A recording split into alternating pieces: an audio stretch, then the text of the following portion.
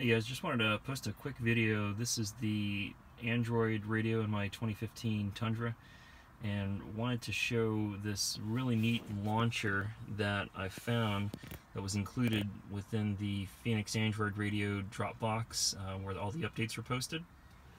So for those uh, not familiar, the, the homepage here looks different uh, out of the box. There's a, a launcher that has kind of the Tundra and there's like a calendar and it shows the engine RPM and things like that.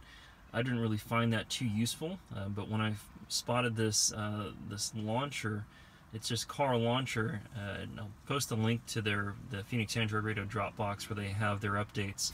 But I'm going to pull it up right here on the screen so that you can see it. Uh, but this is where the um, the Dropbox is, and kind of I'll zoom in here.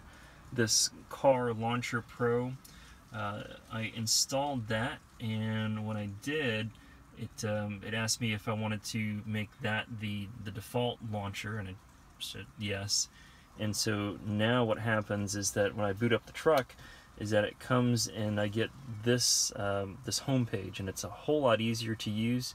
I like it. You know, before I, I use Google Play Music for all of my music and uh, you know accessing these other things in here which I'll make some other videos about but this launcher is really clean. It's, it's nice. Um, you know, if you hit the time here, it just kind of goes to this black screen.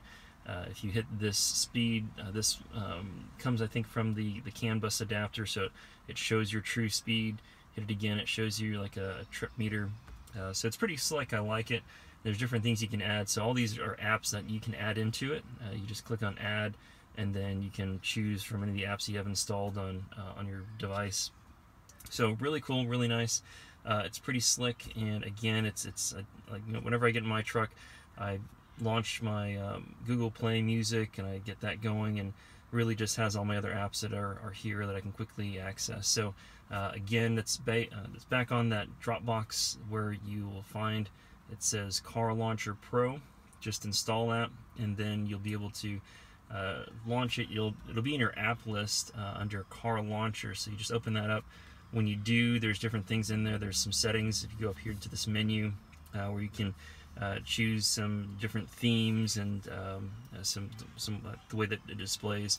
I've gone through it a little bit, but there's all kinds of other stuff that you can change in here. So uh, it's really cool. I like it a lot, and I think it's a great great way to, to kind of really cu customize, configure this unit. If um, you know, if you were like me and you probably were always just going to the app list whenever you uh, jump in your truck and you just uh, would pull up some other app, you can just use this launcher and have all your apps here. So uh, really like this. Anyway, just wanted to, to kind of share that. I had some folks asking me about it.